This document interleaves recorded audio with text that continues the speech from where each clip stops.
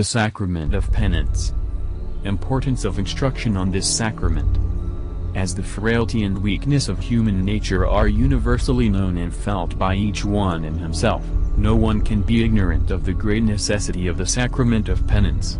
If, therefore, the diligence of pastors should be proportioned to the weight and importance of the subject, we must admit that in expounding this sacrament they can never be sufficiently diligent. Nay, it should be explained with more care than baptism. Baptism is administered but once, and cannot be repeated, penance may be administered and becomes necessary, as often as we may have sinned after baptism. Hence the Council of Trent declares, for those who fall into sin after baptism the sacrament of penance is as necessary to salvation as is baptism for those who have not been already baptized. The saying of St. Jerome that penance is a second plank, is universally known and highly commended by all subsequent writers on sacred things. As he who suffers shipwreck has no hope of safety, unless, perchance, he sees on some plank from the wreck, so he that suffers the shipwreck of baptismal innocence, unless he cling to the saving plank of penance, has doubtless lost all hope of salvation. These instructions are intended not only for the benefit of pastors, but also for that of the faithful at large, to awaken attention, lest they be found culpably negligent in a matter so very important. Impressed with a just sense of the frailty of human nature, their first and most earnest desire should be to advance with the divine assistance in the ways of God, without sin or failing.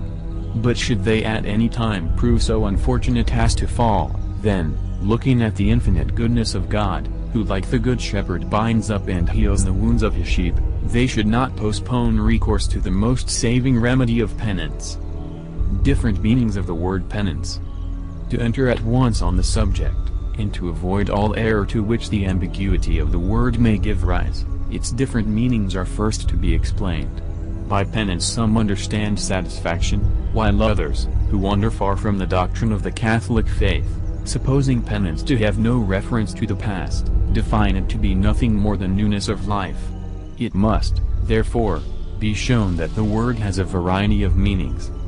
In the first place, it is said of those to whom that which was before pleasing is now displeasing, whether the object itself was good or bad. In this sense all those repent whose sorrow is according to the world, not according to God, and therefore, worketh not salvation, but death. In the second place, it is used to express that sorrow which the sinner conceives, not, however, for the sake of God, but for his own sake, concerning some sin of his in which he once took pleasure.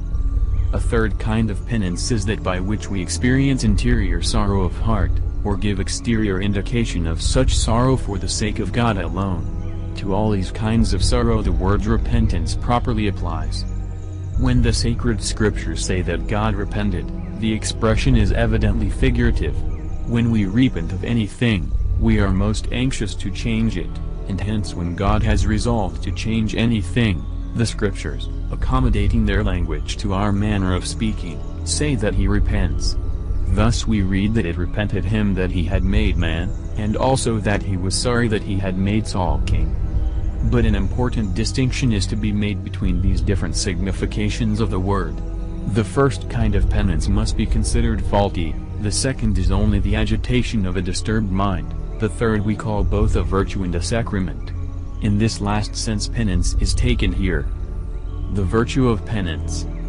We shall first treat of penance as a virtue, not only because it is the duty of the pastor to lead the faithful to the practice of every virtue, but also, because the acts which proceed from penance as a virtue, constitute the matter, as it were, of penance as a sacrament, and unless the virtue be rightly understood, the force of the sacrament cannot be appreciated.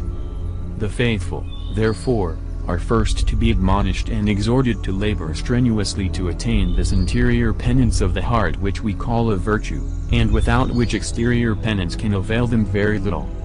Meaning of penance Interior penance consists in turning to God sincerely and from heart, and in hating and detesting our past transgressions, with a firm resolution of amendment of life, hoping to obtain pardon through the mercy. Accompanying this penance, like inseparable companion of detestation for sin, is a sorrow and sadness, which is a certain agitation and disturbance of the soul, and is called by many a passion. Hence many of the Fathers define penance as an anguish of soul. Penance, however, in those who repent, must be preceded by faith, for without faith no man can turn to God.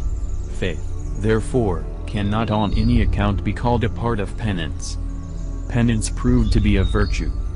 That this inward penance is, as we have already said, a virtue, the various commands which have been given regarding it clearly show, for the law commands only those actions that are virtuous.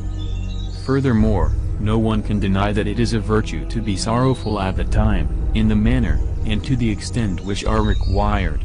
To regulate sorrow in this manner belongs to the virtue of penance.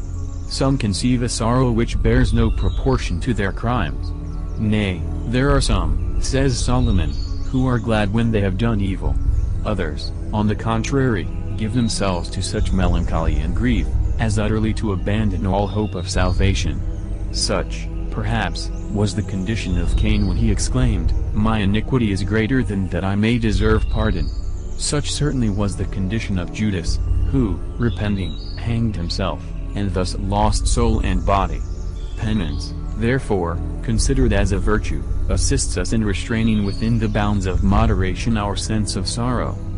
That penance is a virtue may also be inferred from the ends which the true penitent proposes to himself. The first is to destroy sin and efface from the soul its every spot and stain. The second is to make satisfaction to God for the sins which he has committed, which is clearly an act of justice. Between God and man, it is true, no relation of strict justice can exist, so great is the distance that separates them, yet between them there is evidently a sort of justice, such as exists between a father and his children, between a master and his servants. The third, end of the penitent, is to reinstate himself in the favor and friendship of God whom he has offended and whose hatred he has earned by the turpitude of sin. The foregoing considerations sufficiently prove that penance is a virtue. The steps which lead up to this virtue. We must also point out the steps by which we may ascend to this divine virtue. I the mercy of God first goes before us and converts our hearts to Him. This was the object of the prophet's prayer, Convert us, O Lord, to Thee, and we shall be converted. Illumined by this light the soul next tends to God by faith. He that cometh to God, says the Apostle, must believe that He is, and is a rewarder of them that seek Him. A salutary fear of God's judgments follows, and the soul, contemplating the punishments that await sin, is recalled from the paths of vice. To this state of soul seem to refer these words of Isaias, as a woman with child, when she draweth near the time of her delivery, is in pain and crieth out in her pangs, so are we become. Then follows a hope of obtaining mercy from God, encouraged by which we resolve on improvement of life. Lastly, our hearts are inflamed by charity, whence springs that filial fear which good and dutiful children experience, and thus dreading only to offend the majesty of God in anything, we entirely abandon the ways of sin. Fruits of this virtue. Such are, as it were, the steps by which we ascend to this most exalted virtue, a virtue altogether heavenly and divine, to which the sacred scriptures promise the kingdom of heaven, for it is written in St. Matthew, Do penance, for the kingdom of heaven is at hand. If, says Ezekiel, the wicked do penance for all his sins which he hath committed, and keep all my commandments, and do judgment and justice, living he shall live. In another place, I desire not the death of the wicked, but that the wicked turn from his way and live, words which are evidently understood of eternal life. Penance as a sacrament. Regarding external penance it will be necessary to show that in it the sacrament properly consists, and that it possesses certain outward and sensible signs which denote the effect that takes place interiorly in the soul. Why Christ instituted this sacrament. In the first place, however, it will be well to explain why it is that Christ our Lord was pleased to number penance among the sacraments.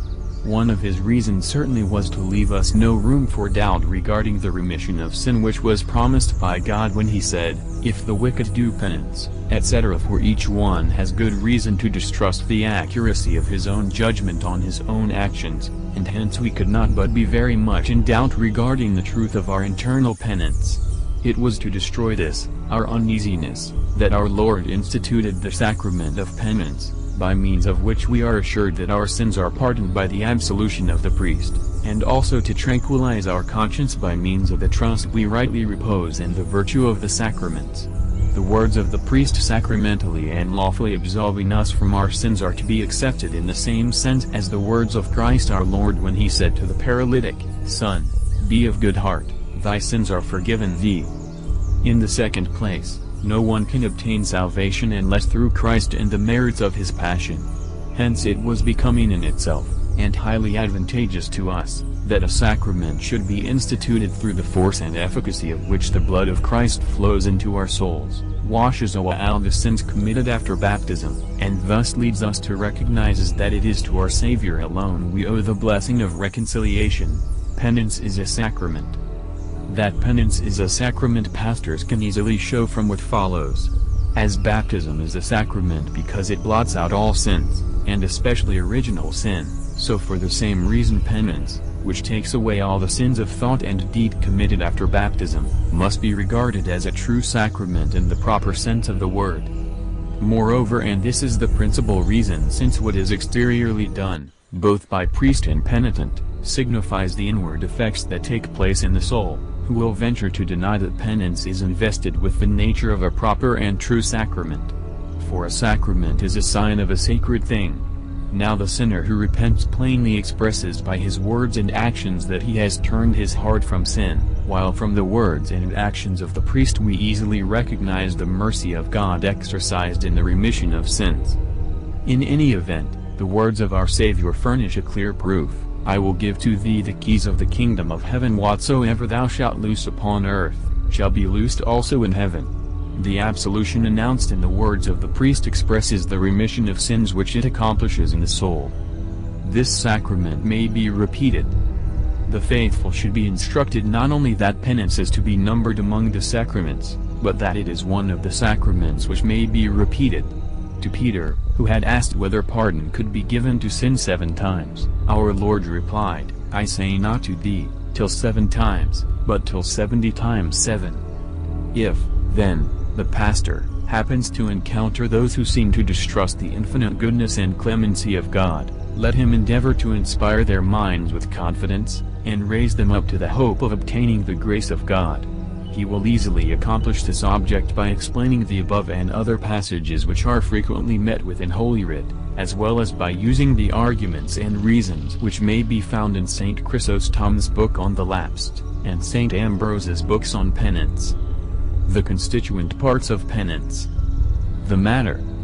There is nothing that should be better known to the faithful than the matter of this sacrament. Hence they should be taught that penance differs from the other sacraments in this that while the matter of the other sacraments is something, whether natural or artificial, the matter, as it were, of the sacrament of penance is the acts of the penitent, namely, contrition, confession and satisfaction, as has been declared by the Council of Trent. Now, inasmuch as these acts are by divine institution required on the part of the penitent for the integrity of the sacrament, and for the full and perfect remission of sin, they are called parts of penance.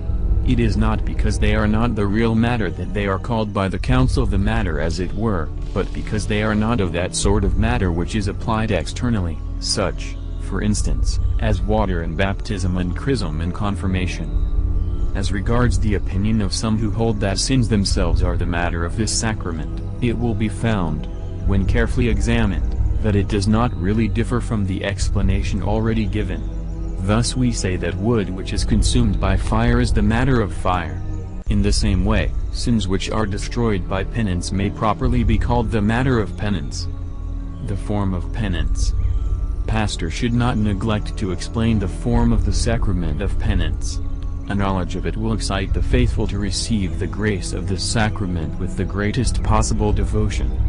Now the form is, I absolve thee, as may be inferred not only from the words, Whatsoever you shall bind upon earth shall be bound also in heaven, but also from the teaching of Christ our Lord, handed down to us by the apostles. Moreover, since the sacraments signify what it they effect, the words, I absolve thee, signify that remission of sin is effected by the administration of this sacrament, and hence it is plain that such is the perfect form of the sacrament For sins are, so to say, the chains by which the soul is bound, and from which it is freed by the sacrament of penance. And none the less truly does the priest pronounce the form over the penitent who, through perfect contrition, accompanied by the desire of confession, has already obtained remission of his sins from God.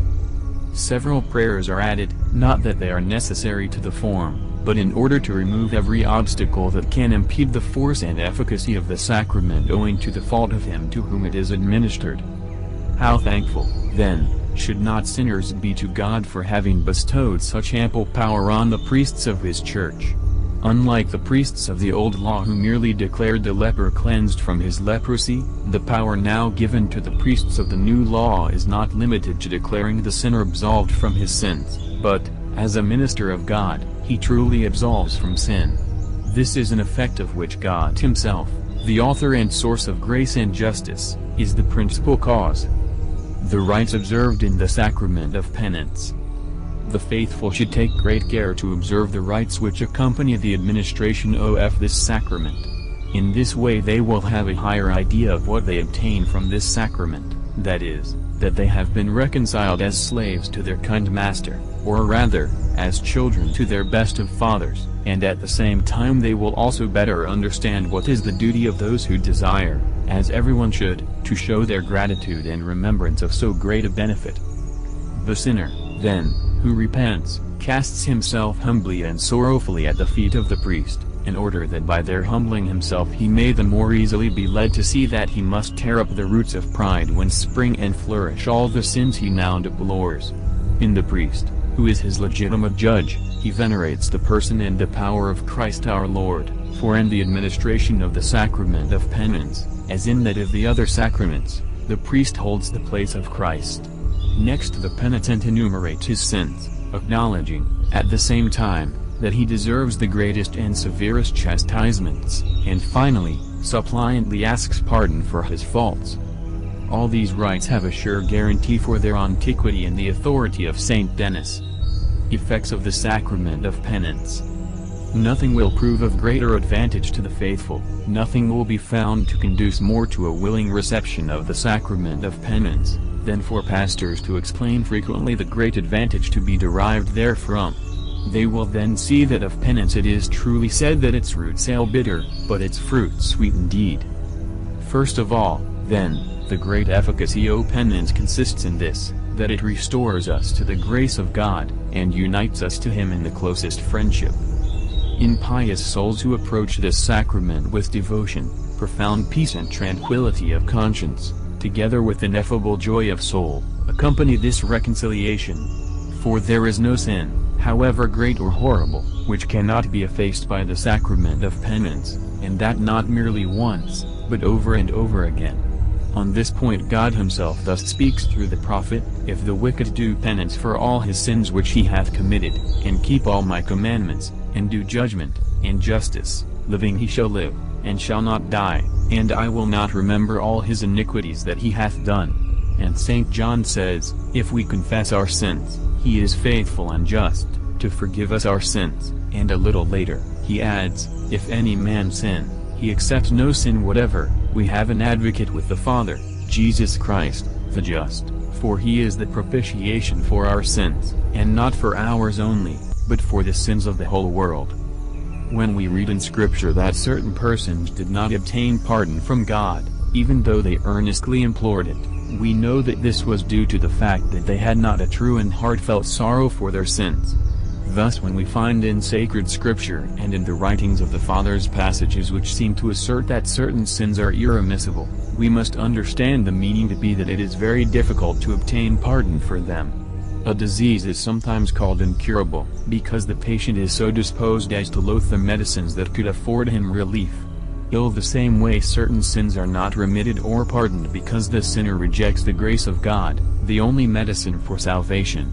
It is in this sense that St. Augustine wrote, When a man who, through the grace of Jesus Christ, has once arrived at a knowledge of God, wounds fraternal charity, and, driven by the fury of envy, lifts up his head against grace, the enormity of his sin is so great that, though compelled by a guilty conscience to acknowledge and confess his fault, he finds himself unable to submit to the humiliation of imploring pardon.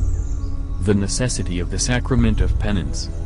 Returning now to the sacrament, it is so much the special province of penance to remit sins that it is impossible to obtain or even to hope for remission of sins by any other means, for it is written, Unless you do penance, you shall all likewise perish.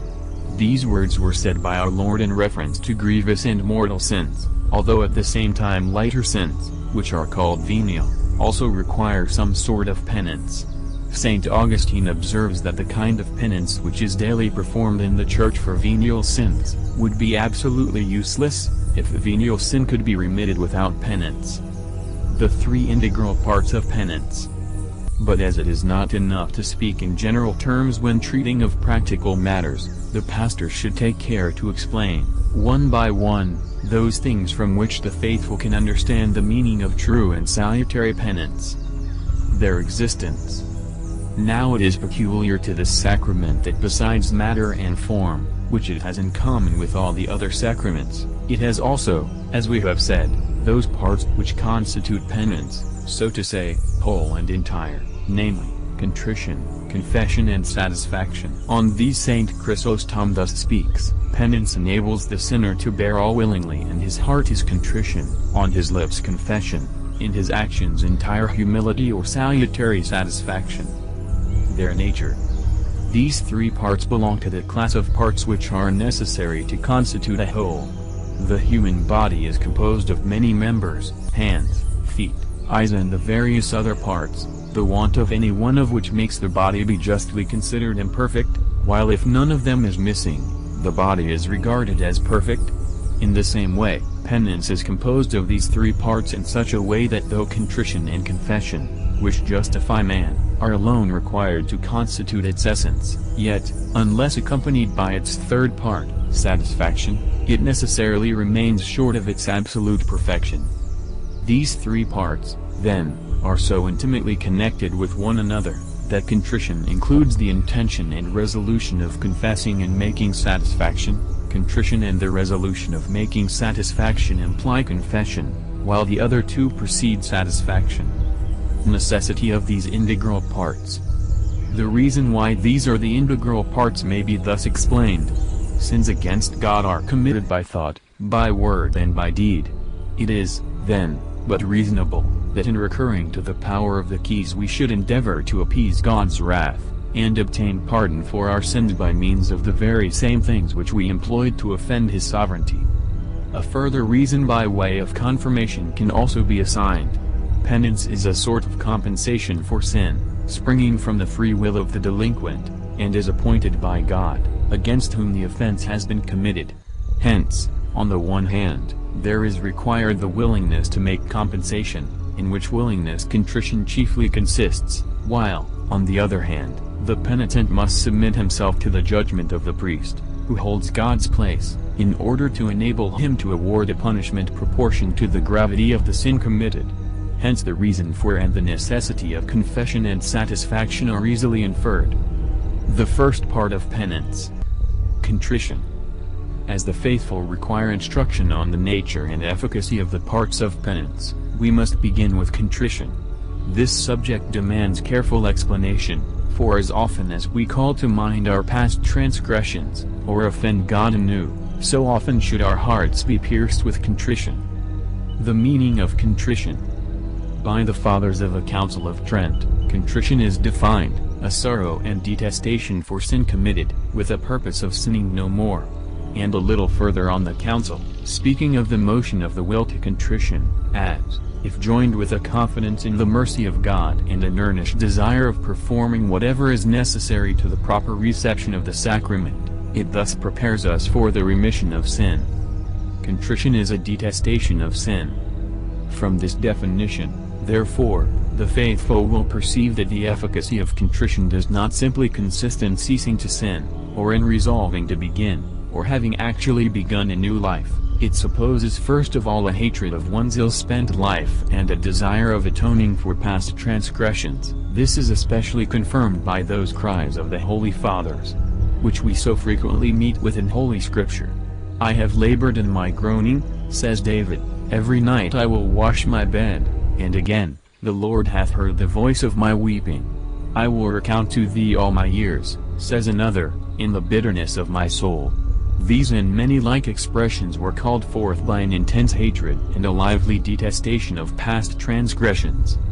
Contrition produces sorrow. But although contrition is defined as sorrow, the faithful are not thence to conclude that this sorrow consists in sensible feeling, for contrition is an act of the will, and, as St. Augustine observes, grief is not penance but the accompaniment of penance. By sorrow the fathers understood a hatred and detestation of sin, in the first place, because the sacred scriptures frequently use the word in this sense. How long, says David, shall I take counsels in my soul, sorrow in my heart all the day? And secondly, because from contrition arises sorrow in the inferior part of the soul which is called the seat of concupiscence.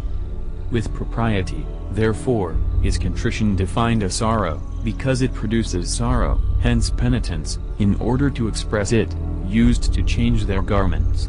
Our Lord alludes to this custom when he says, Woe to thee, Chorazin, woe to thee, Bethsaida, for if in Tyre and Sidon had been wrought the miracles that have been wrought in you, they had long ago done penance in sackcloth and ashes. Names of sorrow for sin.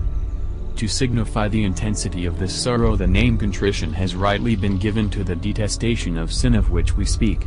The word means the breaking of an object into small parts by means of a stone or some harder substance, and here it is used metaphorically, to signify that our hearts, hardened by pride, are beaten and broken by penance. Hence neither sorrow, not even that which is felt for the death of parents, or children, or for any other calamity, is called contrition. The word is exclusively employed to express the sorrow with which we are overwhelmed by the forfeiture of the grace of God and of our own innocence. Contrition, however, is often designated by other names. Sometimes it is called contrition of heart, because the word heart is frequently used in Scripture to express the will. As the movement of the body originates in the heart, so the will is the faculty which governs and controls the other powers of the soul. By the Holy Fathers it is also called compunction of heart, and hence they prefer to entitle their works on contrition treatises on compunction of heart, for as ulcers are lanced with a knife in order to allow the escape of the poisonous matter accumulated within, so the heart, as it were, is pierced with the lance of contrition, to enable it to emit the deadly poison of sin. Hence, contrition is called by the prophet Joel, a rending of the heart. Be converted to me he says, with all your hearts in fasting, in weeping, in mourning, and rend your hearts. Qualities of sorrow for sin. It should be supreme. That sorrow for sins committed should be so profound and supreme that no greater sorrow could be thought of will easily appear from the considerations that follow. Perfect contrition is an act of charity, emanating from what is called filial fear, hence it is clear that the measure of contrition and of charity should be the same. Since, therefore, the charity which we cherish towards God is the most perfect love, it follows that contrition should be the keenest sorrow of the soul. God is to be loved above all things, and whatever separates us from God is therefore to be hated above all things. It is also worthy of note that to charity and contrition the language of Scripture assigns the same extent. Of charity it is said, Thou shalt love the Lord thy God with thy whole heart. Of contrition the Lord says through the prophet, Be converted with your whole heart. Secondly, it is true that of all objects which deserve our love, God is the supreme good, and it is not less true that of all objects which deserve our execration sin is the supreme evil. The same reason, then, which prompts us to confess that God is to be loved above all things, obliges us also of necessity to acknowledge that sin is to be hated above all things that God is to be loved above all things, so that we should be prepared to sacrifice our lives rather than offend him. These words of the Lord clearly declare, He that loveth father or mother more than me, is not worthy of me, he that will save his life shall lose it. Further, it should be noted that since, as Saint Bernard says, there is no limit or measure to charity, or to use his own words, as the measure of loving God is to love him without measure, there should be no limit to the hatred of sin. Sorrow for sin should be intense.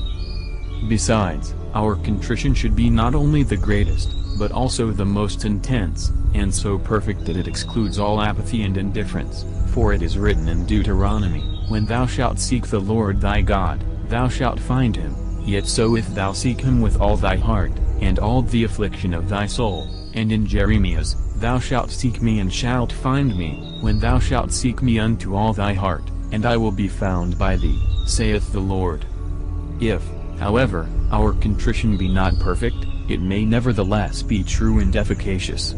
For as things which fall under the senses frequently touch the heart more sensibly than things purely spiritual, it sometimes happens that persons feel more intense sorrow for the death of their children than for the grievousness of their sins. Our contrition may also be true and efficacious, although unaccompanied by tears. Penitential tears, however, are much to be desired and commended. On this subject St. Augustine has well said, The spirit of Christian charity lies not within you, if you lament the body from which the soul has departed, but lament not the soul from which God has departed. To the same effect are the words of the Redeemer above cited, Woe to thee, Chorazin! Woe to thee, Bethsaida! For if in Tyre and Sidon had been wrought the miracles that have been wrought in you, they had long since done penance, in sackcloth and ashes. To establish this truth it will suffice to recall the well-known examples of the Ninevites, of David, of the woman who was a sinner, and of the prince of the apostles, all of whom obtained the pardon of their sins when they implored the mercy of God with abundant tears. Sorrow for sin should be universal the faithful should be earnestly exhorted and admonished to strive to extend their contrition to each mortal sin. For it is thus that Ezechias describes contrition, I will recount to thee all my years in the bitterness of my soul. To recount all our years is to examine our sins one by one in order to have sorrow for them from our hearts. In Ezekiel also we read, If the wicked do penance for all his sins, he shall live. In this sense St. Augustine says, let the sinner consider the quality of his sins, as to time, place, variety and person. In this matter, however, the faithful should not despair of the infinite goodness and mercy of God. For since God is most desirous of our salvation, he will not delay to pardon us. With a father's fondness, he embraces the sinner the moment he enters into himself, turns to the Lord, and, having detested all his sins, resolves that later on, as far as he is able, he will call them singly to mind and detest them. The Almighty himself, by the mouth of his prophet, commands us to hope, when he says, The wickedness of the wicked shall not hurt him, in what day soever he shall turn from his wickedness. Conditions required for contrition. From what has been said we may gather the chief requisites of true contrition. In these the faithful are to be accurately instructed, that each may know the means of attaining, and may have a fixed standard by which to determine, how far he may be removed from the perfection of this virtue. Detestation of sin. We must, then, in the first place, detest and deplore all out sins. If our sorrow and detestation extend only to some sins, our repentance is not salutary, but feigned and false. Whosoever shall keep the whole law, says St. James, but offend in one point, is become guilty of all. Intention of confession and satisfaction.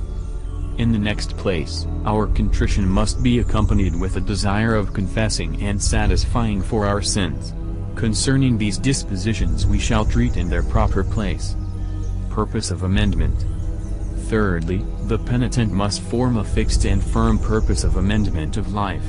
This the prophet clearly teaches in the following words, If the wicked do penance for all his sins which he hath committed, and keep all my commandments, and do judgment, and justice, living I shall live, and shall not die, I will not remember all his iniquities which he hath done. And a little after, when the wicked turneth himself away from his wickedness which he hath wrought, and doth judgment and justice, he shall save his soul alive.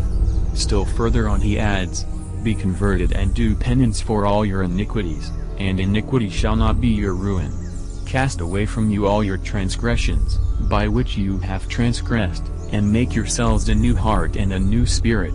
To the woman taken in adultery Christ our Lord commanded the same thing, Go thy way, and sin no more, and also to the lame man whom he cured at the pool of Bethsaida, Behold, thou art made whole, sin no more. Reasons for these conditions that a sorrow for sin and a firm purpose of avoiding sin for the future are two conditions indispensable to contrition nature and reason clearly show. He who would be reconciled to a friend whom he has wronged must regret to have injured and offended him, and his future conduct must be such as to avoid offending in anything against friendship.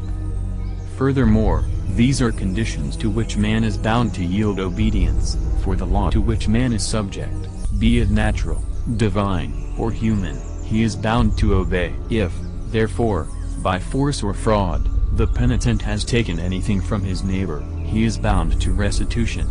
Likewise if, by word or deed he has injured his neighbor's honor or reputation, he is under an obligation of repairing the injury by procuring him some advantage or rendering him some service. Well known to all is the maxim of St. Augustine, the sin is not forgiven unless what has been taken away is restored. Forgiveness of injuries. Again, not less necessary for contrition than the other chief conditions is a care that it be accompanied by entire forgiveness of the injuries which we may have received from others. This our Lord and Savior admonishes when he declares, If you will forgive men their offenses, your heavenly Father will forgive you also your offenses, but if you will not forgive men, neither will your Father forgive you your offenses. These are the conditions which the faithful should observe as regards contrition. There are other dispositions which, although not essential to true and salutary penance, contribute to render contrition more perfect and complete in its kind and which pastors will readily discover. The effects of contrition. Simply to make known those things which pertain to salvation should not be deemed a full discharge of the duty of pastors, their zeal and industry should be exerted to persuade the people to adopt these truths as their rule of conduct and as the governing principle of their actions. Hence it will be highly useful often to explain the power and utility of contrition. For whereas most other pious practices, such as alms, fasting, prayer and similar holy and commendable works, are sometimes rejected by God on account of the faults of those who perform them, contrition can never be other than pleasing and acceptable to Him. A contrite and humble heart, O God, exclaims the prophet, thou wilt not despise. Nay more, the same prophet declares elsewhere that, as soon as we have conceived this contrition in our hearts, our sins are forgiven by God. I said, I will confess my injustice to the Lord, and thou hast forgiven the wickedness of my sin. Of this truth we have a figure in the ten lepers, who, when sent by our Lord to the priests, were cured of their leprosy before they had reached them, which gives us to understand that such is the efficacy of true contrition, of which we have spoken above, that through it we obtain from the Lord the immediate pardon of all sins. Means of arousing true contrition to move the faithful to contrition, it will be very useful if pastors point out some method by which each one may excite himself to contrition. They should all be admonished frequently to examine their consciences, in order to ascertain if they have been faithful in the observance of those things which God and His Church require. Should anyone be conscious of sin, he should immediately accuse himself, humbly solicit pardon from God, and implore time to confess and satisfy for his sins. Above all, let him supplicate the aid of divine grace, in order that he may not relapse into those sins which he now penitently deplores. Pastors should also take care that the faithful be excited to a supreme hatred of sin, both because its turpitude and baseness are very great and because it brings us the gravest losses and misfortunes. For sin deprives us of the friendship of God, to whom we are indebted for so many invaluable blessings, and from whom we might have expected and received gifts of still higher value, and along with this it consigns us to eternal death and to torments unending and most severe. The second part of penance. Confession. Having said so much on contrition, we now come to confession, which is another part of penance. The care and exactness which its exposition demands of pastors must be at once obvious, if we only reflect that most holy persons are firmly persuaded that whatever of piety, of holiness, of religion, has been preserved to our times in the Church, through God's goodness, must be ascribed in great measure to confession. It cannot, therefore, be a matter of surprise that the enemy of the human race, in his efforts to destroy utterly the Catholic Church, should, through the agency of the ministers of his wicked designs, have assailed with all his might this bulwark, as it were, of Christian virtue. It should be shown, Therefore, in the first place that the institution of confession is most useful and even necessary to us. Necessity of confession. Contrition, it is true, blots out sin, but who does not know that to effect this it must be so intense, so ardent, so vehement, as to bear a proportion to the magnitude of the crimes which it effaces. This is a degree of contrition which few reach, and hence, in this way, very few indeed could hope to obtain the pardon of their sins. It, therefore, became necessary that the most merciful Lord should provide by some easier means for the common salvation of men, and this he has done in his admirable wisdom, by giving to his church the keys of the kingdom of heaven. According to the doctrine of the Catholic Church, a doctrine firmly to be believed and constantly professed by all, if the sinner have a sincere sorrow for his sins and a firm resolution of avoiding them in future, although he bring not with him that contrition which may be sufficient of itself to obtain pardon, all his sins are forgiven and remitted through the power of the keys, when he confesses them properly to the priest. Justly, then, do those most holy men, our fathers, proclaim that by the keys of the Church the gate of heaven is thrown open, a truth which no one can doubt since the Council of Florence has decreed that the effect of penance is absolution from sin. Advantages of Confession To appreciate further the great advantages of confession we may turn to a fact taught by experience. To those who have led immoral lives nothing is found so useful towards a reformation of morals as sometimes to disclose their secret thoughts, all their words and actions, to a prudent and faithful friend, who can assist them by his advice and cooperation. For the same reason it must prove most salutary to those whose minds are agitated by the consciousness of guilt to make known the diseases and wounds of their souls to the priest, as the vicegerent of Christ our Lord, bound to eternal secrecy by the strictest of laws. In the sacrament of penance, they will find immediate remedies, the healing qualities of which will not only remove the present malady, but will also have such a heavenly efficacy in preparing the soul against an easy relapse into the same kind of disease and infirmity.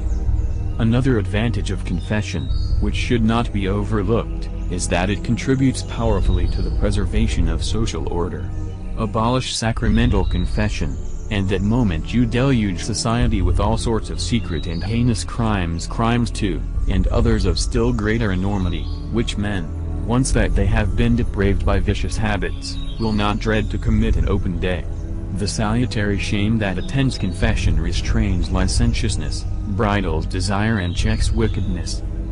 Definition of Confession Having explained the advantages of confession, pastor should next unfold its nature and efficacy. Confession, then, is defined, a sacramental accusation of one's sins, made to obtain pardon by virtue of the keys. It is rightly called an accusation, because sins are not to be told as if the sinner boasted of his crimes, as they do who are glad when they have done evil, nor are they to be related as stories told for the sake of amusing idle listeners. They are to be confessed as matters of self-accusation, with a desire, as it were, to avenge them on ourselves. We confess our sins with a view to obtain pardon. In this respect the tribunal of penance differs from other tribunals, which take cognizance of capital offenses, and before which a confession of guilt does not secure acquittal and pardon, but penalty and punishment. The definition of confession by the Holy Fathers, although different in words, is substantially the same. Confession, says St. Augustine, is the disclosure of a secret disease, with the hope of obtaining pardon, and St. Gregory, Confession is a detestation of sins. Both of these definitions accord with, and are contained in the preceding definition. Confession instituted by Christ. In the next place, it is a duty of greatest moment that pastors should unhesitatingly teach that this sacrament owes its institution to the singular goodness and mercy of our Lord Jesus Christ, who has ordered all things well, and solely with a view to our salvation. After his resurrection he breathed on the apostles, assembled together, saying, Receive ye the Holy Ghost, whose sins you shall forgive, they are forgiven, and whose sins you shall retain, they are retained. Now in giving to priests the power to retain and forgive sins, it is evident that our Lord made them also judges in this matter. Our Lord seems to have signified the same thing when, having raised Lazarus from the dead, he commanded his apostles to loose him from the bands in which he was bound. This is the interpretation of St. Augustine. The priests, he says, can now do more, they can exercise greater clemency towards those who confess and whose sins they forgive. The Lord, in giving over Lazarus, whom he had already raised from the dead, to be loosed by the hands of his disciples, wished us to understand that to priests was given the power of loosing. To this also refers the command given by our Lord to the lepers cured on the way, that they show themselves to the priests, and subject themselves to their judgment. Invested, then, as they are, by our Lord with power to remit and retain sins, priests are evidently appointed judges of the matter on which they are to pronounce, and since, according to the wise remark of the Council of Trent, we cannot form an accurate judgment on any matter, or award to crime a just proportion of punishments without having previously examined and made ourselves well acquainted with the case, it follows that the penitent is obliged to make known to the priests, through the medium of confession, each and every sin. This doctrine the pastor should teach as defined by the Holy Council of Trent, and handed down by the uniform doctrine of the Catholic Church.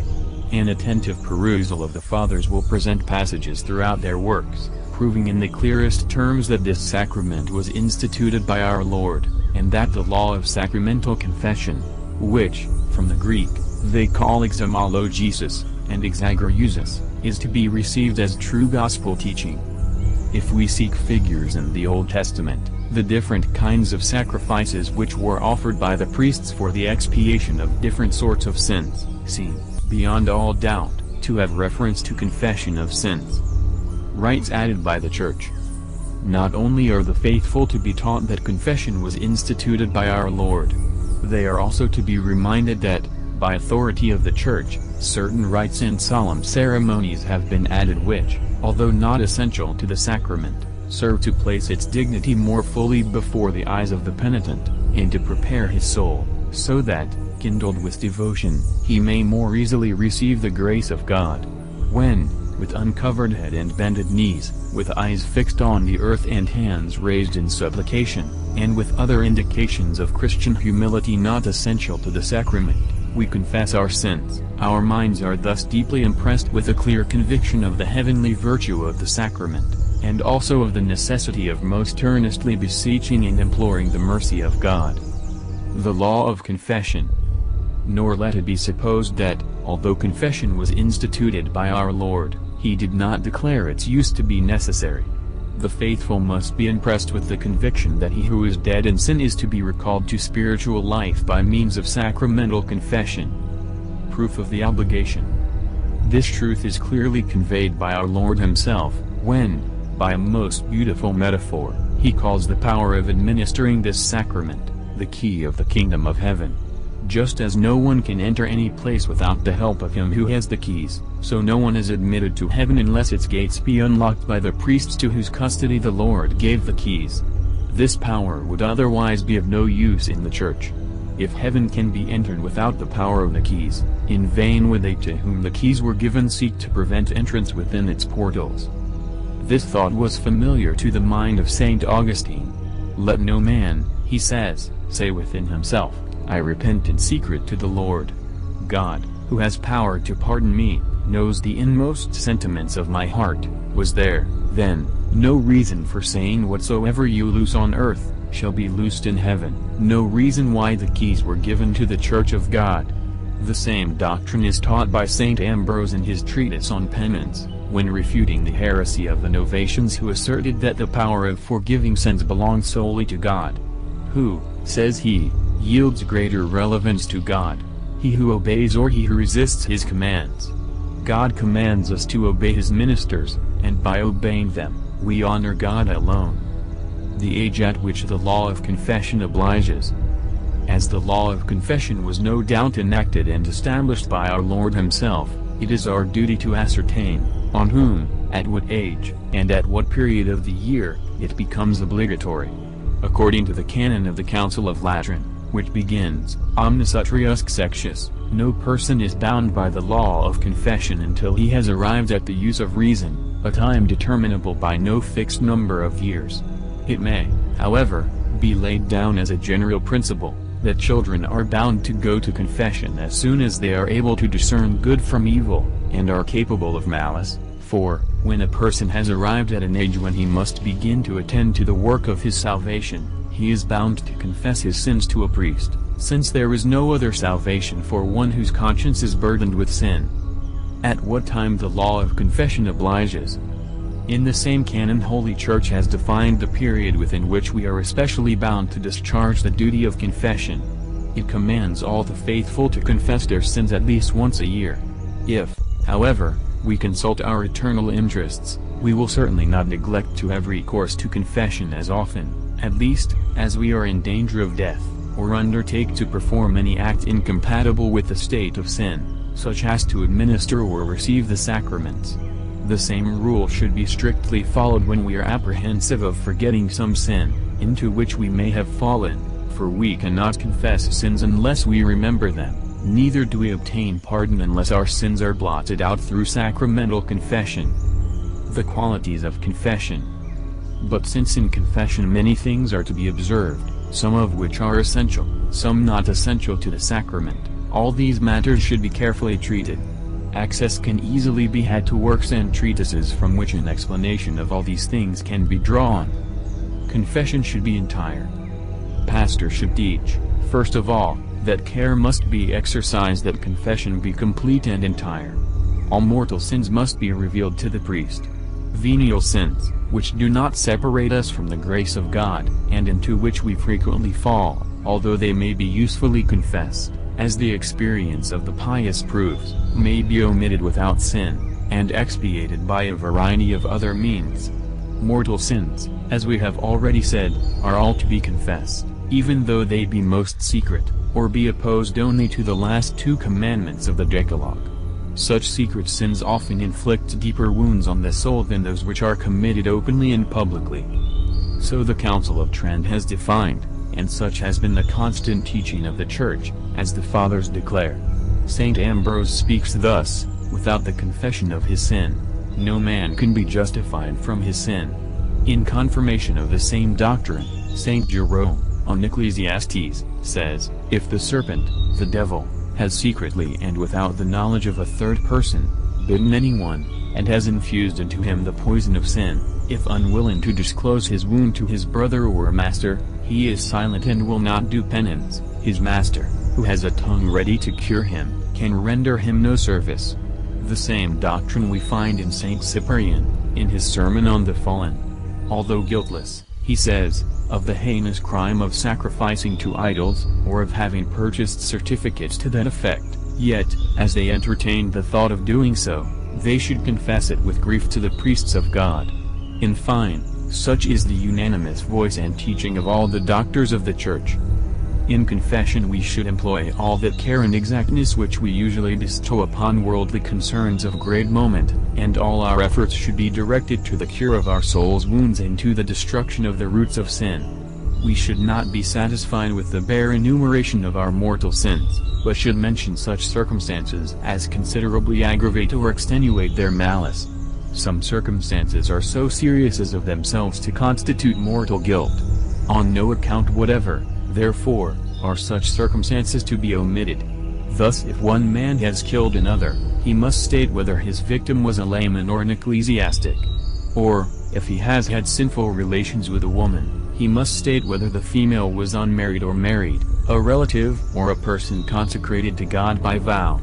These circumstances change the nature of the sins, so that the first kind of unlawful intercourse is called by theologians simple fornication, the second adultery, the third incest, and the fourth sacrilege.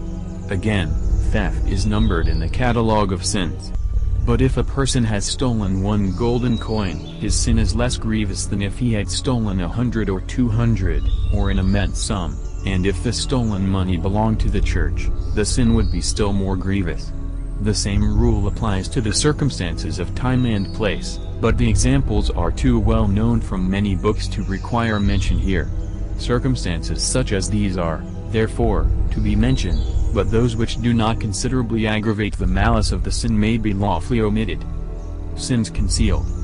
So important is it that confession be entire that if the penitent confesses only some of his sins and willfully neglects to accuse himself of others which should be confessed, he not only does not profit by his confession, but involves himself in new guilt. Such an enumeration of sins cannot be called sacramental confession, on the contrary, the penitent must repeat his confession, not omitting to accuse himself of having, under the semblance of confession, profaned the sanctity of the sacrament. Sins forgotten. But should the confession seem defective, either because the penitent forgot some grievous sins, or because, although intent on confessing all his sins, he did not examine the recesses of his conscience with sufficient accuracy, he is not bound to repeat his confession. It will be sufficient, when he recollects the sins which he had forgotten, to confess them to a priest on a future occasion.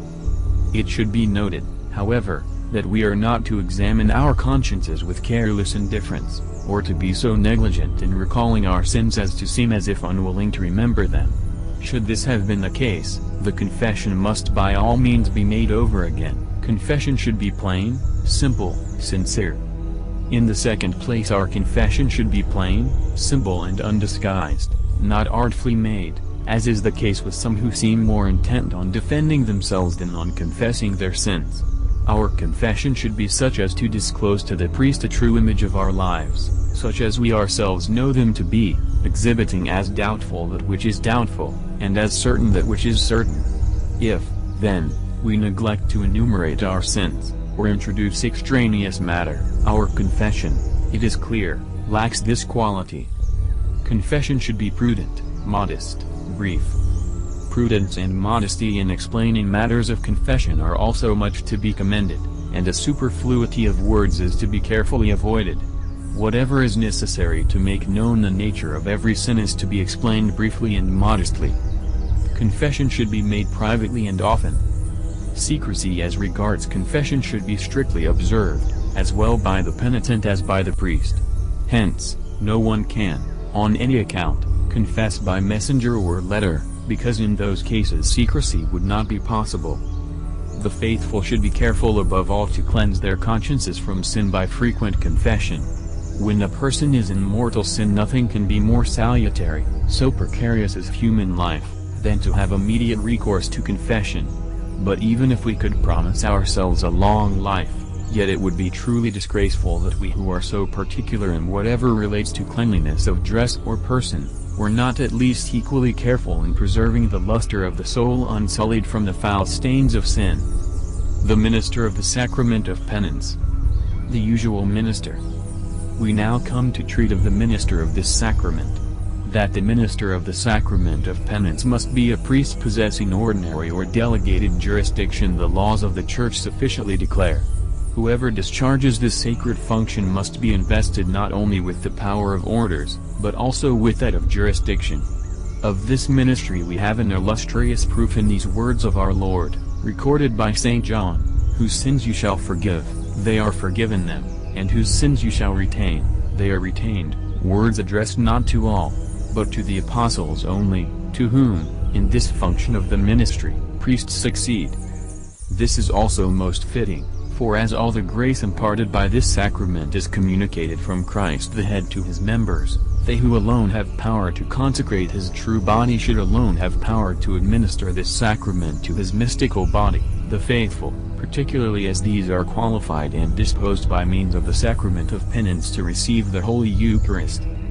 The scrupulous care which in the primitive ages of the Church guarded the right of the ordinary priest is easily seen from the ancient decrees of the Fathers which provided that no bishop or priest, except in case of great necessity, presumed to exercise any function in the parish of another without the authority of him who governed there. This law derives its sanction from the apostle when he commanded Titus to ordain priests in every city, to administer to the faithful the heavenly food of doctrine and of the sacraments. The minister in danger of death. In order that none may perish, if there is imminent danger of death, and recourse cannot be had to the proper priest, the Council of Trent teaches that according to the ancient practice of the Church of God it is then lawful for any priest, not only to remit all kinds of sil, whatever faculties they might otherwise require, but also to absolve from excommunication.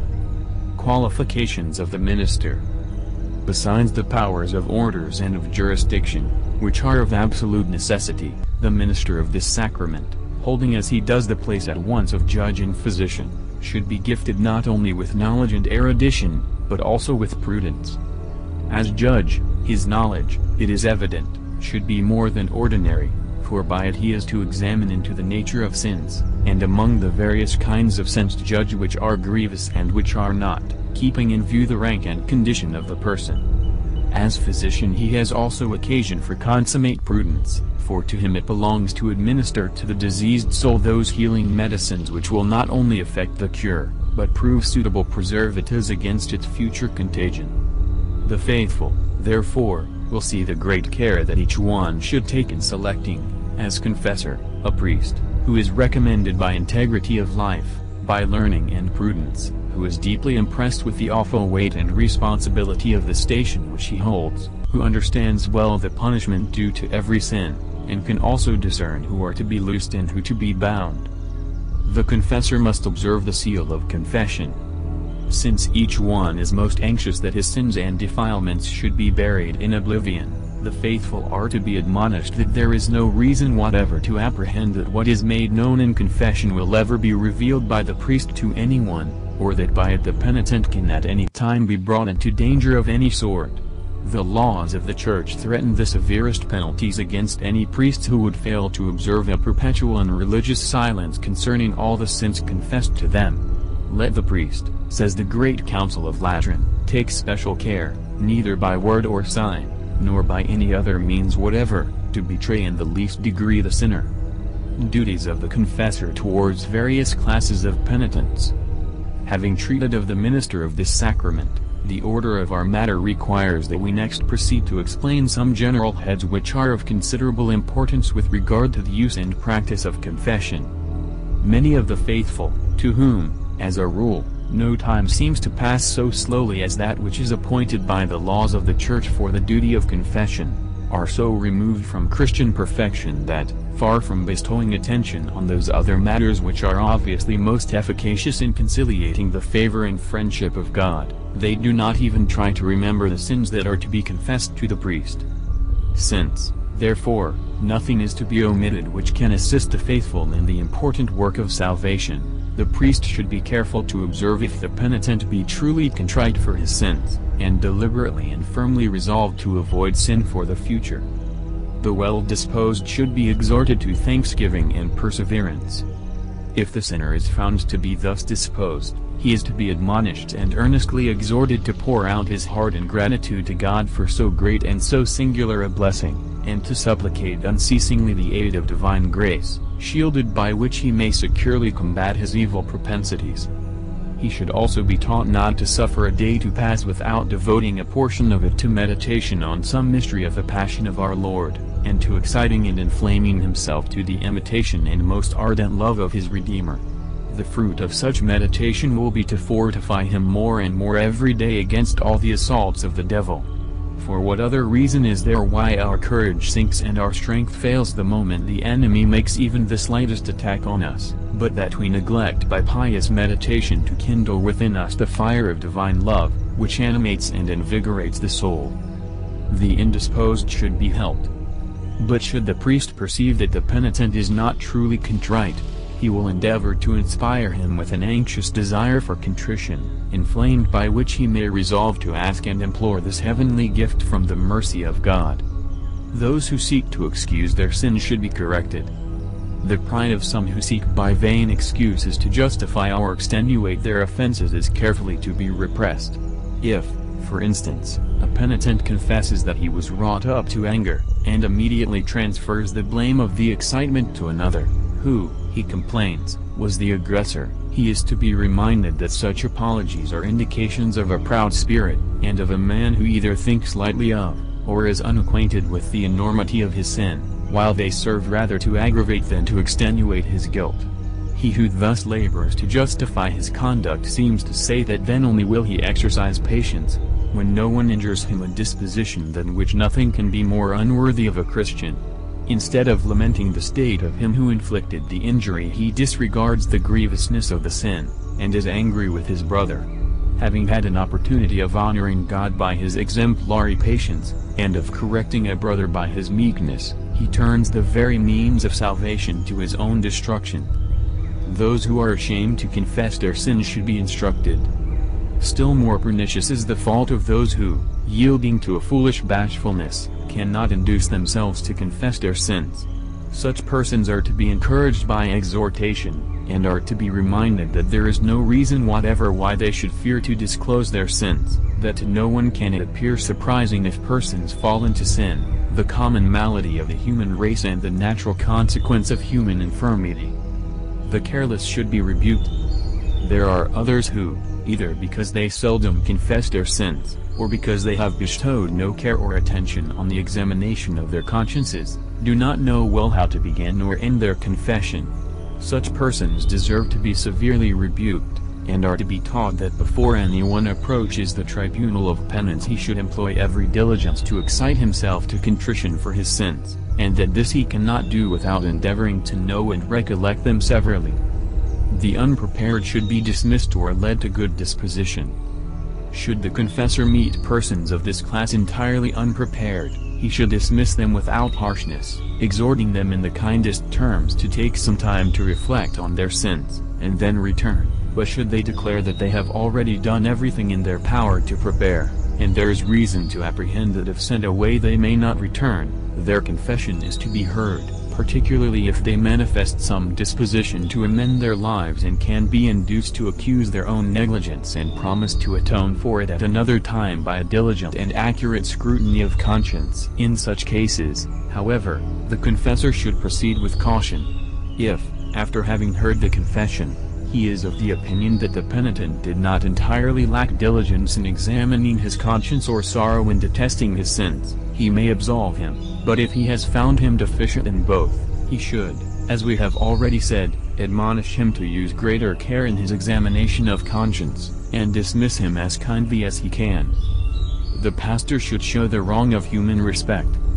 But as it sometimes happens that females, who may have forgotten some sin in a former confession, cannot bring themselves to return to the confessor, dreading to expose themselves before the people to the suspicion of having been guilty of something grievous or of looking for the praise of extraordinary piety, the pastor should frequently remind the faithful, both publicly and privately, that no one is gifted with so tenacious a memory as to be able to recollect all his thoughts, words and actions, that the faithful, therefore, should they call to mind some sin which they had previously forgotten, should not be deterred from returning to the priest.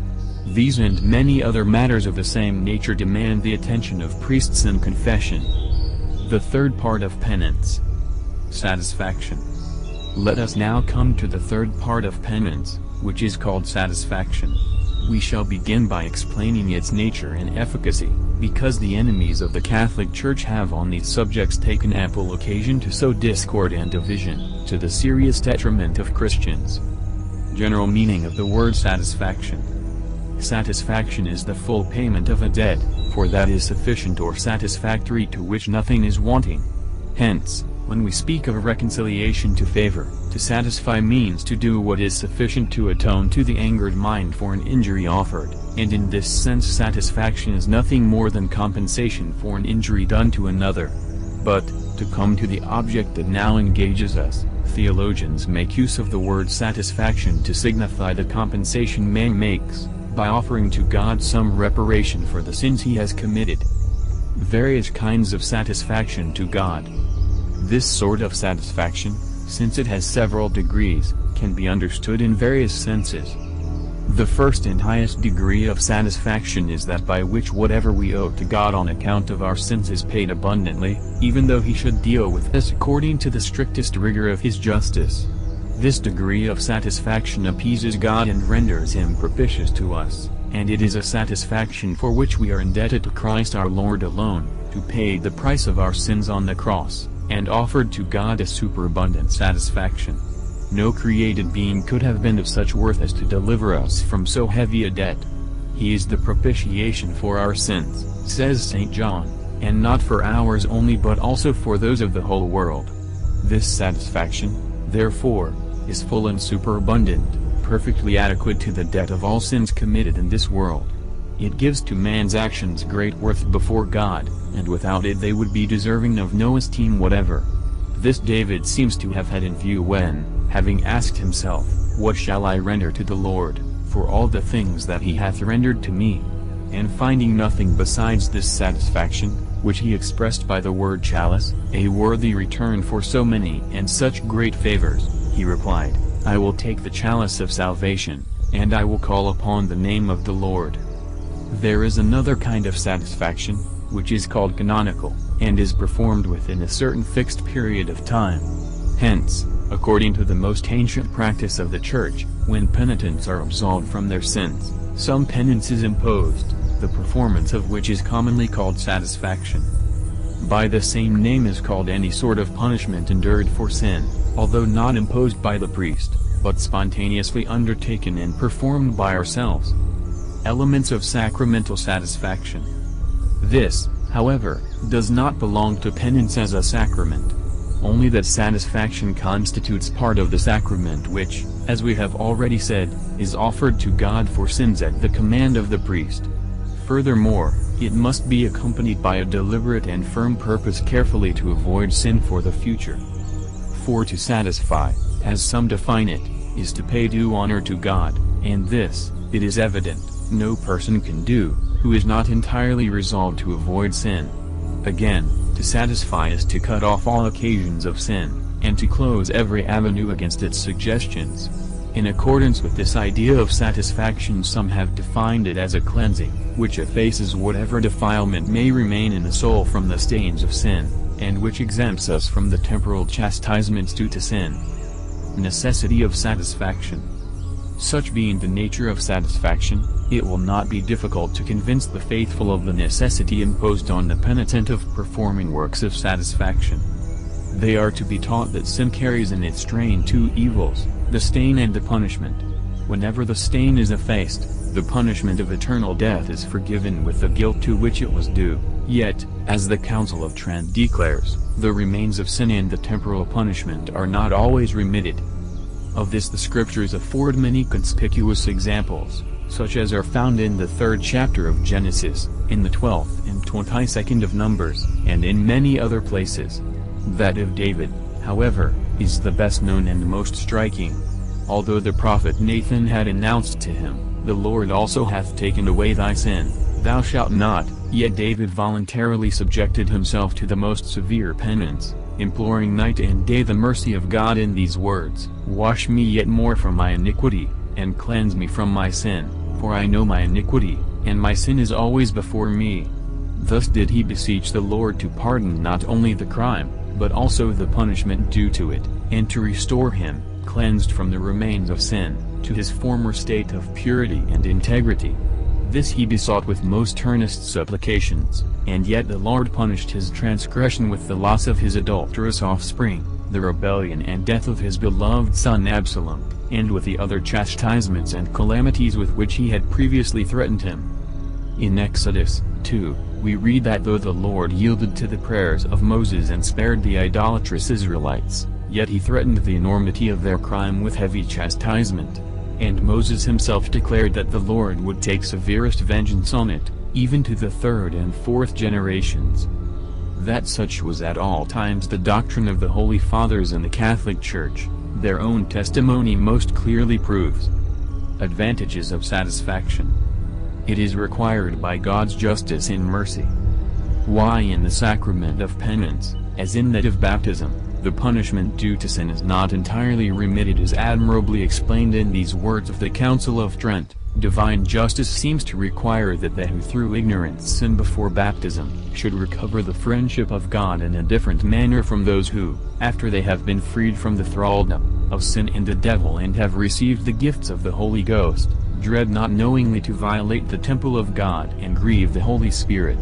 It is also in keeping with the divine mercy not to remit our sins without any satisfaction, lest, taking occasion hence, and imagining our sins less grievous than they are, we should become injurious, as it were, and contumelious to the Holy Ghost, and should fall into greater enormities, treasuring up to ourselves wrath against the day of wrath. These satisfactory penances have, no doubt, great influence in recalling from and, as it were, bridling against sin, and in rendering the sinner more vigilant and cautious for the future. Satisfaction atones to the Church. Furthermore, these satisfactions serve as testimonies of our sorrow for sin committed, and thus atone to the Church which is grievously insulted by our crimes. God, says St. Augustine, despises not a contrite and humble heart, but, as heartfelt grief is generally concealed from others, and is not manifested by words or other signs, wisely, therefore, are penitential times appointed by those who preside over the Church, in order to atone to the Church, in which sins are forgiven. Satisfaction deters others from sin. Besides, the example presented by our penitential practices serves as a lesson to others, how to regulate their lives and practice piety. Seeing the punishments inflicted on sin, they must feel the necessity of using the greatest circumspection through life, and of correcting their former habits. The Church, therefore, with great wisdom ordained that when anyone had committed a public crime, a public penance should be imposed on him, in order that others, being deterred by fear, might more carefully avoid sin in future. This has sometimes been observed even with regard to secret sins of more than usual gravity. But with regard to public sinners, as we have already said, they were never absolved until they had performed public penance. During the performance of this penance, the pastors poured out prayers to God for their salvation, and ceased not to exhort the penitents to do the same. In this respect, great was the care and solicitude of Saint Ambrose, of whom it is related that many who came to the tribunal of penance with hardened hearts were so softened by his tears as to conceive the sorrow of true contrition.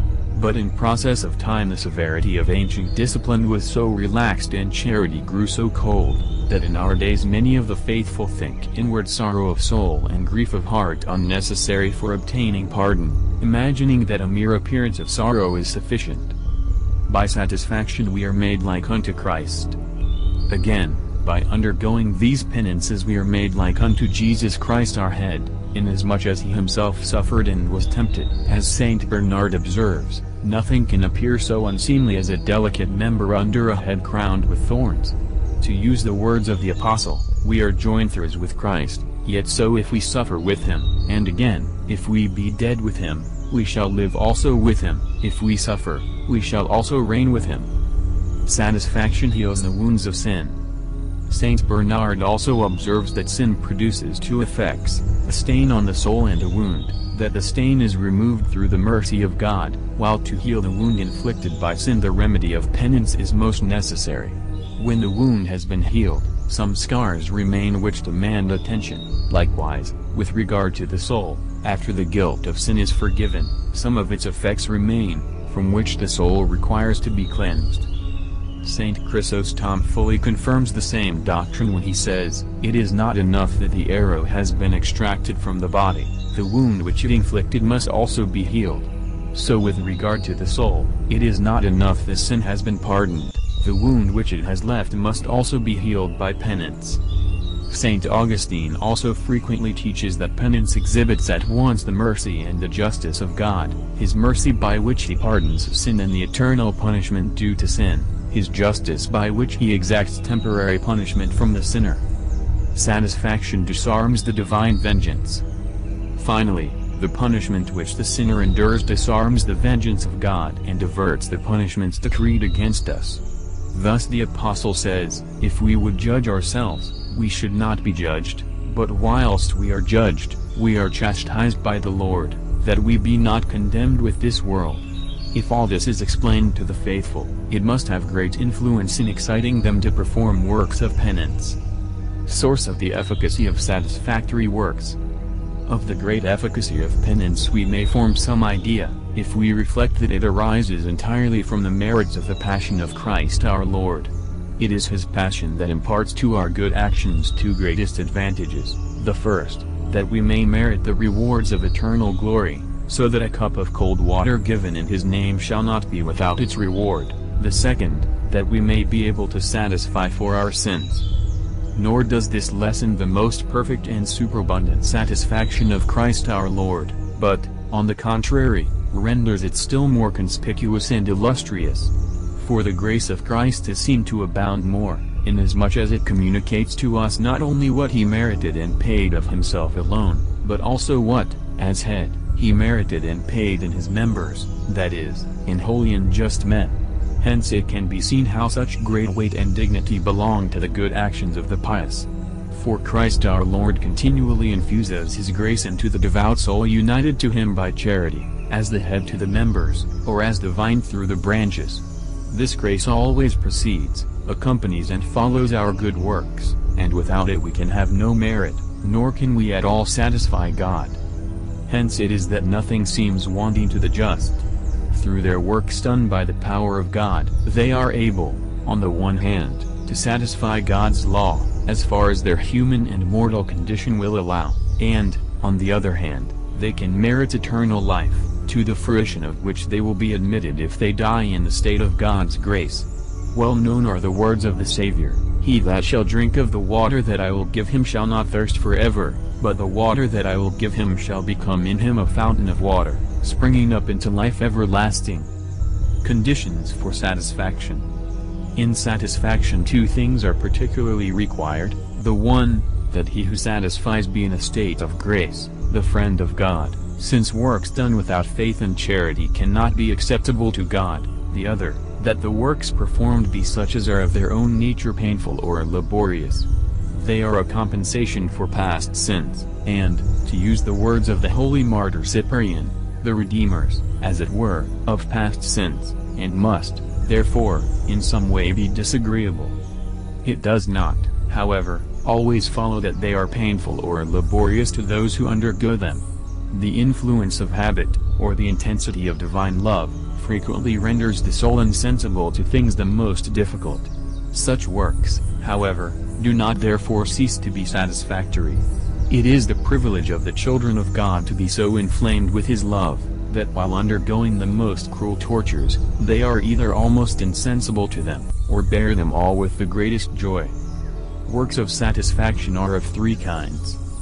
Pastor should teach that all kinds of satisfaction are reducible to three heads, prayer, fasting and alms deeds, which correspond to three kinds of goods which we have received from God, those of the soul, those of the body and what are called external goods.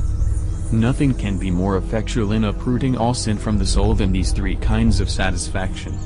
For since whatever is in the world is the concupiscence of the flesh, the concupiscence of the eyes, and the pride of life, everyone can see that to these three causes of disease are opposed also three remedies. To the first is opposed fasting, to the second, alms deeds, to the third, prayer. Moreover, if we consider those whom our sins injure, we shall easily perceive why all kinds of satisfaction are reduced especially to these three. For those, we offend by our sins, are, God, our neighbor and ourselves. God we appease by prayer, our neighbor we satisfy by alms, and ourselves we chastise by fasting. As this life is checkered by many and various afflictions, the faithful are to be particularly reminded that those who patiently bear all the trials and afflictions coming from the hand of God acquire abundant satisfaction and merit, whereas those who suffer with reluctance and impatience deprive themselves of all the fruits of satisfaction, merely enduring the punishment which the just judgment of God inflicts upon their sins. One can satisfy for another. In this the supreme mercy and goodness of God deserve our grateful acknowledgement and praise that he has granted to our frailty the privilege that one may satisfy for another. This, however, is a privilege which is confined to the satisfactory part of penance alone. As regards contrition and confession, no one is able to be contrite for another, but those who are in the state of grace may pay for others what is due to God, and thus we may be said in some measure to bear each other's burdens. This is a doctrine on which the faithful cannot for a moment entertain a doubt since we profess in the Apostles' Creed our belief in the communion of saints. For since we are all reborn to Christ in the same cleansing waters of baptism and are partakers of the same sacraments, and, above all, are nourished with the same body and blood of Christ our Lord, as our food and drink, we are all, it is manifest, members of the same body. As then the foot does not perform its functions solely for itself, but also for the sake of the eyes, and as the eyes see not only for their own sake, but for the general good of all the members, so also works of satisfaction must be considered common to us all. This, however, is not true in reference to all the advantages to be derived from satisfaction. For works of satisfaction are also medicinal, and are so many remedies prescribed to the penitent to heal the depraved affections of the soul. It is clear that those who do not satisfy for themselves can have no share in this fruit of penance. These three parts of penance, contrition, confession and satisfaction, should be fully and clearly explained. Duties of the confessor as regards satisfaction. Restitution must be insisted on. Above all, priests should be very careful not to give absolution to any penitent, whose confession they have heard, without obliging him to make full satisfaction for any injury to his neighbor's goods or character for which he seems responsible. No person is to be absolved until he has first faithfully promised to restore all that belongs to others. But as there are many who readily promise to comply with their duty in this respect, yet are deliberately determined never to fulfill their promises, these persons should be obliged to make restitution, and the words of the apostle are to be frequently pressed upon their minds, He that stole, let him now steal no more, but rather let him labor, working with his hands the thing which is good, that he may have something to give to him that suffereth need. Quantity and quality of penances should be reasonable. In imposing penance priests should do nothing arbitrarily, but should be guided solely by justice, prudence and piety. In order to show that they follow this rule, and also to impress more deeply on the mind of the penitent the enormity of his sin, it will be useful sometimes to remind him of the severe punishments inflicted by the ancient penitential canons, as they are called, for certain sins. The nature of the sin, therefore, will regulate the extent of the satisfaction. No satisfaction can be more salutary than to require of the penitent to devote, for a certain number of days, some time to prayer, not omitting to pray to God in behalf of all mankind, and particularly for those who have departed this life in the Lord. Voluntary works of penance should be recommended. Penitents should also be exhorted to undertake of their own accord the frequent performance of the penances imposed by the confessor, and thus so to conduct their lives that, having faithfully complied with everything which the sacrament of penance demands, they may never cease earnestly to practice the virtue of penance. Public penances should sometimes be given. Should it be deemed proper sometimes to visit public crimes with public penance, and should the penitent express great reluctance of seek to escape from its performance, he should not be listened to too readily, but should be persuaded to embrace with cheerfulness and readiness that which will be salutary to himself and to others. Admonition these things concerning the sacrament of penance and its several parts should be taught in such a manner as to enable the faithful not only to understand them perfectly, but also, with the Lord's help, to resolve to put them in practice piously and religiously.